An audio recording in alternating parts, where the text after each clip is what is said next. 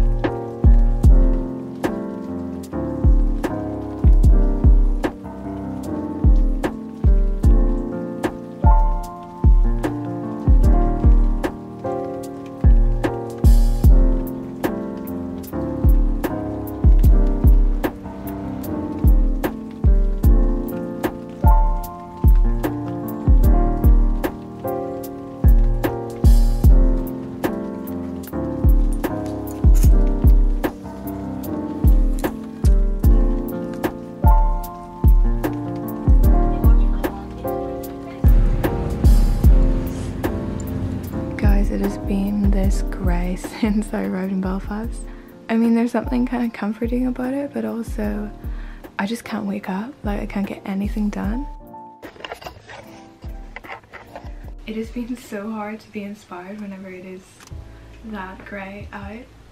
And I feel like I've just been sleeping so much. It's so hard to wake up. As you can see, I'm back home. I don't know if any of you guys watched my YouTube videos over like quarantine, but I always feel like it gets so nostalgic whenever I come back.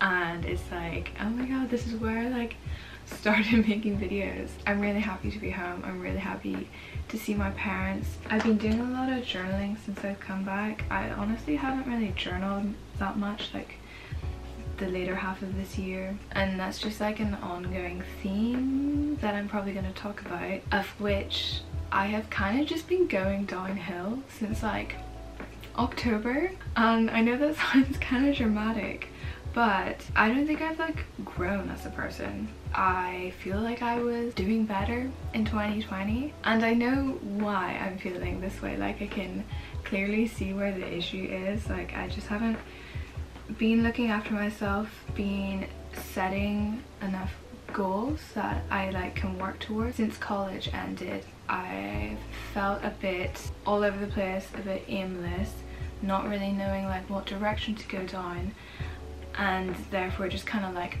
not doing any of them. I think I've also felt like slightly, not embarrassed for want of a better word, but the majority of my videos up until this point, up until like I moved to London, were also focused on like college and productivity. Every day I was waking up at like 6 a.m. and editing and going for a run and then like going to the library and I am just like not that person at the moment because obviously college ended and like I did it and I just didn't carry through those routines into like my now present life. And I know I should cut myself some slack and I think we should all cut ourselves some slack because like for me I finished college and graduated during pandemic. I mean I feel like a lot of us always forget the like outer context of the world that we live in. But I was kind of journaling and I don't think I've ever admitted it but I'm kind of disappointed in myself you know? Like I kind of feel like I didn't really do that much of note in the later half of 2021 that I'm like super proud of. And I think that disappointment also like coexisted with um, like imposter syndrome of like I shouldn't be here doing YouTube. Maybe I should get a real job I don't really want a real job. Thought I'd just update you guys with my thoughts because I don't know, I treat this as like a video diary.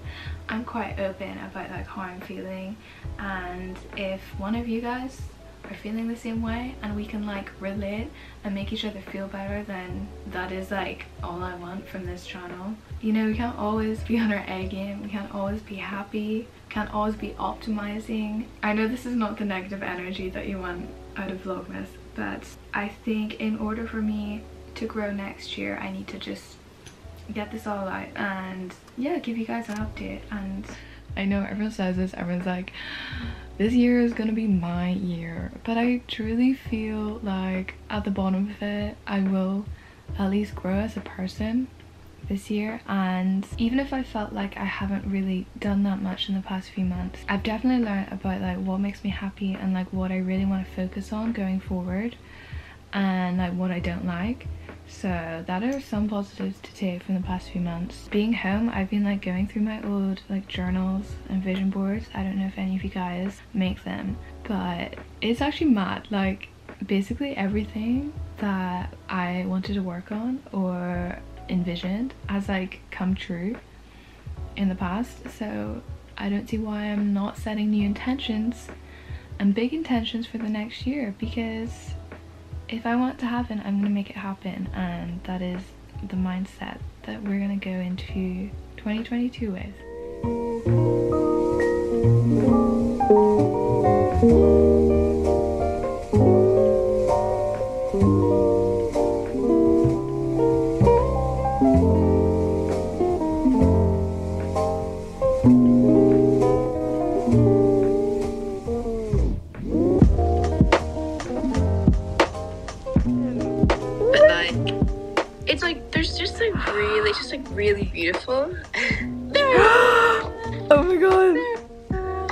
Look it's so me. good.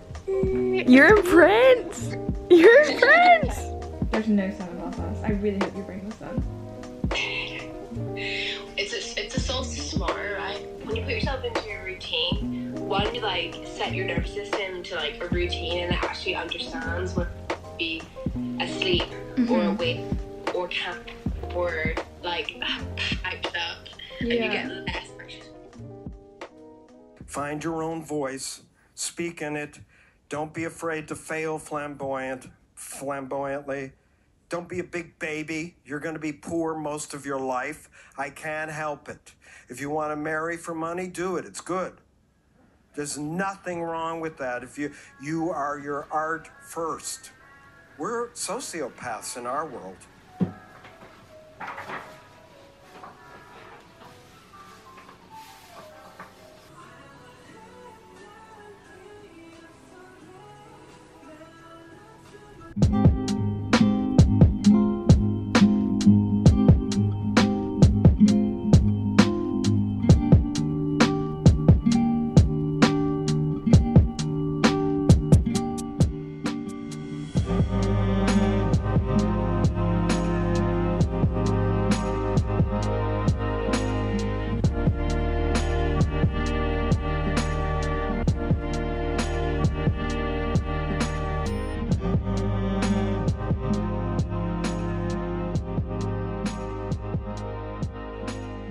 Does anyone remember this painting?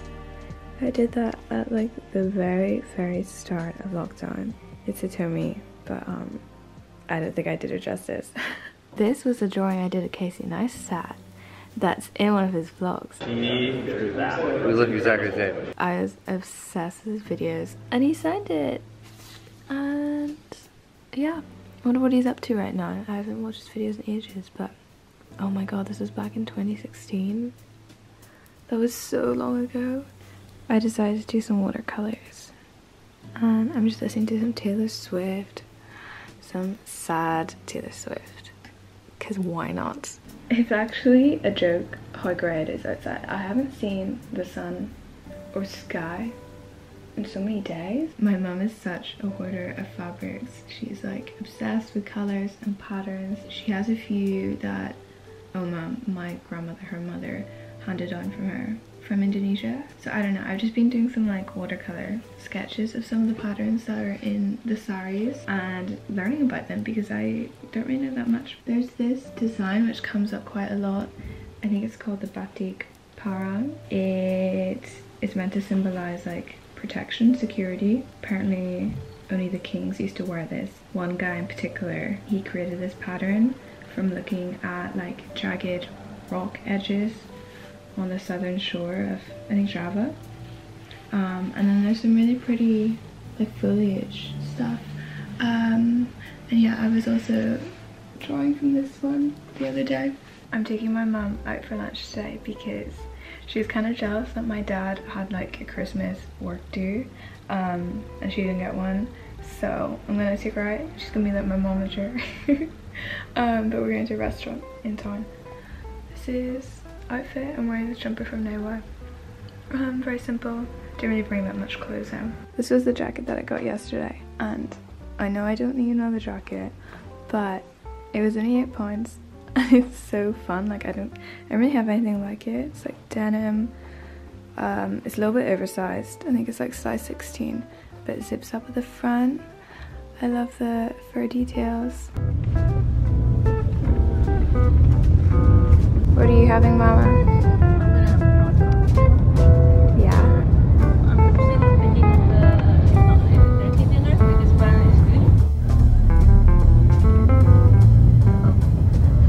Hello.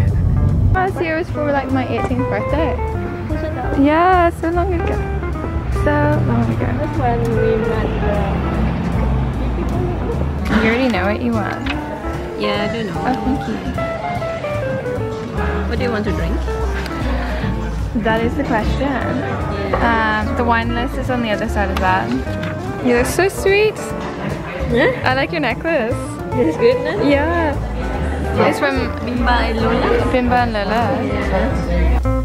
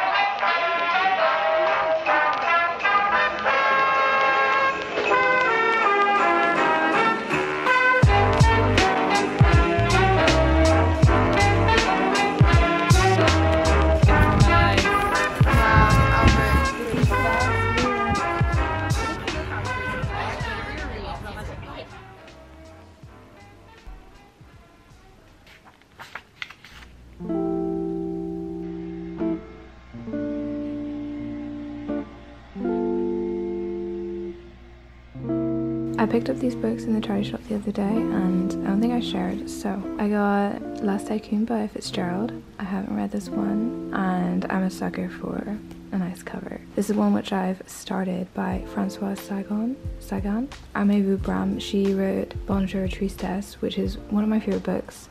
Can't believe she wrote it when she was like 18, but this one is about a kind of middle-aged Parisian woman getting into an affair with a younger man. And then Ali Smith, The Accidental. I've never read any of her books actually. It sounds interesting and I feel like it's going to be kind of an easy read. So maybe I'll get through these over the holidays. We are off to get booster vaccination.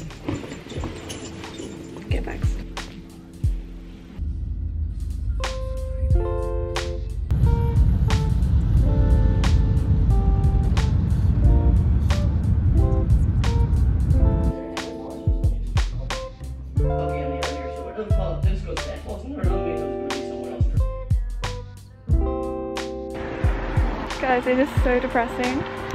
it's so rainy and grey, but I got my booster.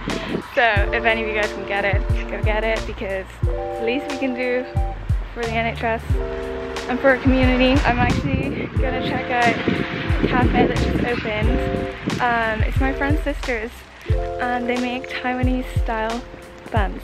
So I'm gonna pick one up for me and my dad to kind of fight the winter blues. If you're in Belfast, come look how yummy. I'm gonna bring these home to my dad and then we're gonna try. Thank you so much. I'll speak to you soon.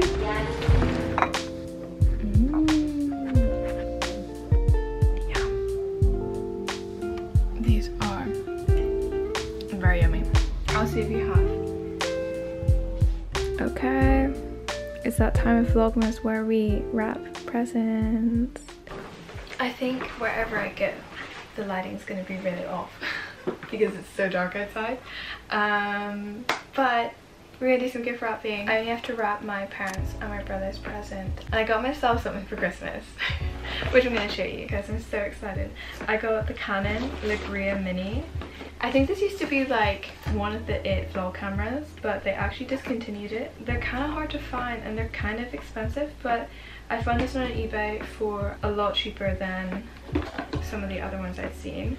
Christmas is all about giving. You gotta give to yourself. Oh my god.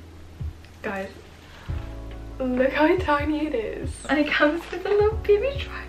So the reason why I wanted to get this is because it has that like fisheye effect and I just thought it'd be really good for, I don't know, just like getting different shots in my vlogs and whenever I'm painting or cooking. And you guys know I also hate vlogging in public and this is like so discreet.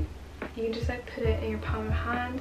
If I was in a coffee shop, I could just put it there and no one would no one would care. But for presents, I'm just using some old newspaper to wrap and I think I have some like string. My family keeps it quite low-key for presents. I got my mum the Kira Misha ring my dad some slippers and Richard Rodney Bennett concerto. It's for tenor sax and that's his like main instrument.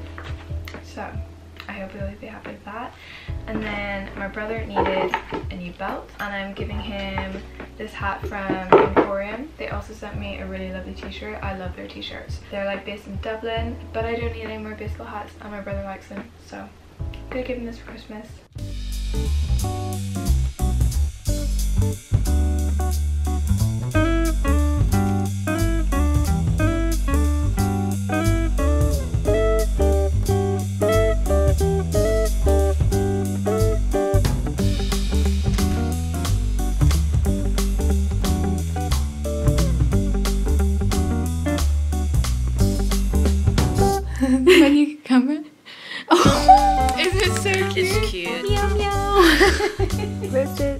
Portobello mushroom. This is what my mom normally makes for me every Christmas, but I'm in charge of making it. I can cut it. One teaspoon chopped thyme, one tablespoon chopped rosemary.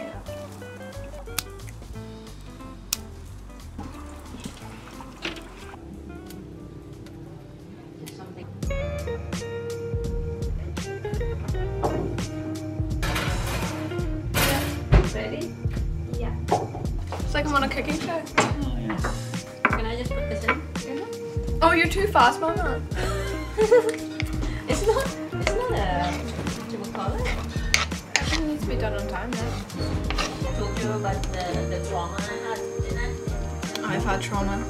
Tell me about your trauma. So anyway, uh, whenever the music came, uh,